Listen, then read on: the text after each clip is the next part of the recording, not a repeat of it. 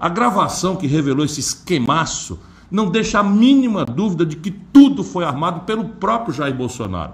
Nessa gravação, o então ministro Milton Ribeiro diz claramente a prefeitos que buscavam recursos do MEC que eles deviam procurar o tal pastor Gilmar, porque esse era, abre aspas, um pedido especial do presidente Bolsonaro.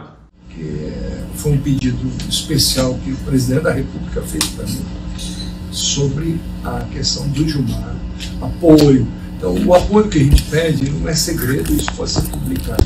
É apoio sobre a construção das igrejas. Vocês ouviram? A existência de uma negociata comandada pelo próprio Bolsonaro está mais do que escancarada.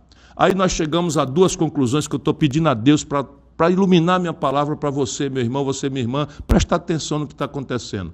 Nós chegamos a duas conclusões. A primeira é que esse governo tem a corrupção impregnada no seu DNA. A segunda, consequência da primeira, é que o chefão de todos esses esquemas é simplesmente o presidente da República. Se não fosse, como explicar uma sequência tão grande de escândalos? É uma falta de vergonha completa e contínua.